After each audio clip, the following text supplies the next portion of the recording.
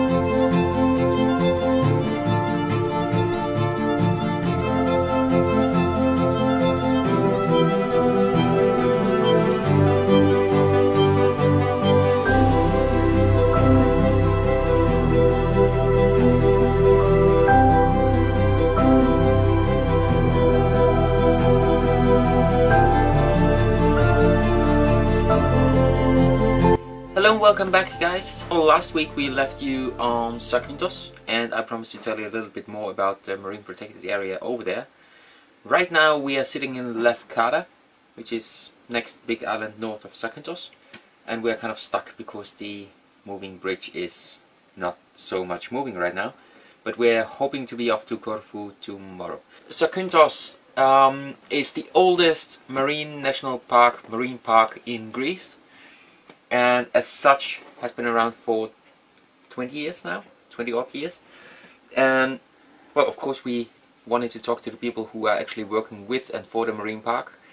And we did and they quite proudly presented us with a couple of facts. So first off if you look at the southern end of Zakynthos looks kind of like this. So you have this big bay and in there they created the national park which is split up in three different zones. So you got zone A, this corner here, where basically everything is prohibited. You can't go with a boat, you can't drop an anchor, obviously.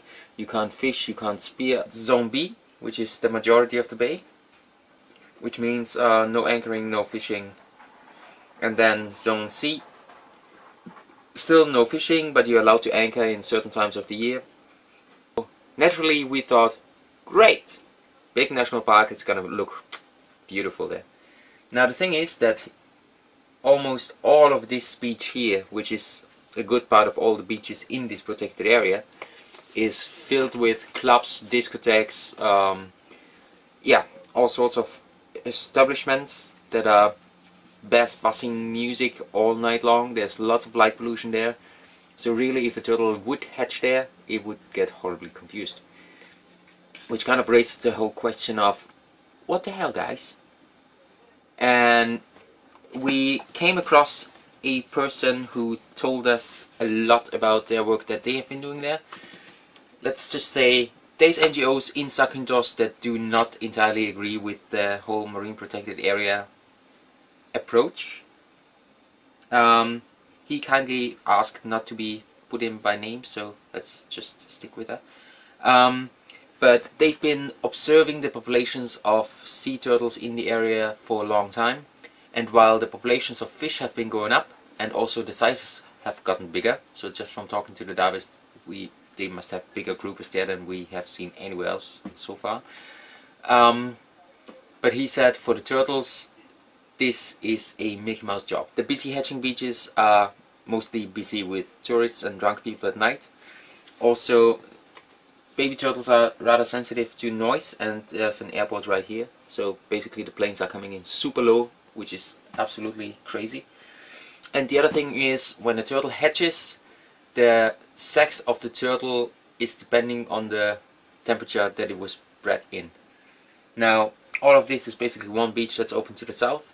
So he's saying all of this most likely are females because of the certain temperature arrangements in this bay and there's the north facing base here on this side of the island. And this is where the males would come from. However none of those are protected. And in fact there's big clubs sitting right on them. So yeah. Marine protected area great idea good approach.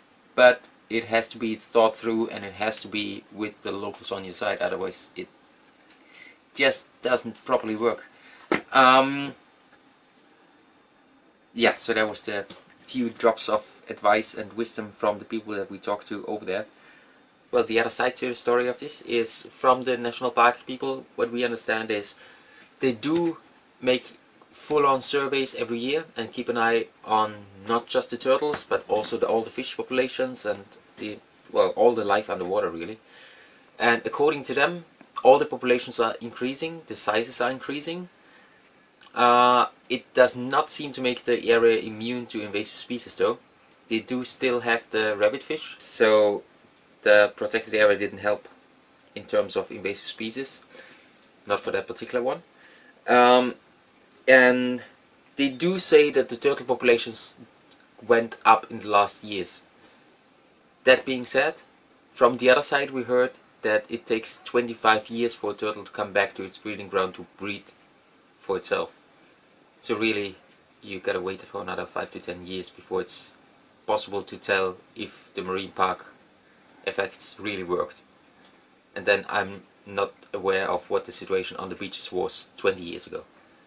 So it might be that all these nightclubs just popped up in the last 10 years. So, really don't know.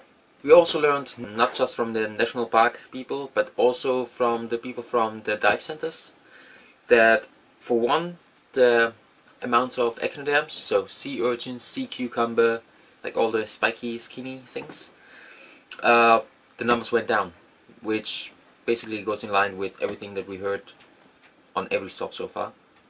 So those numbers are declining throughout the area. But unlike most others, they said their seagrass is recovering really well. So whatever shift the protected area does, and I don't think it's just because no anchoring, it is definitely good for the seagrass. So that's good news.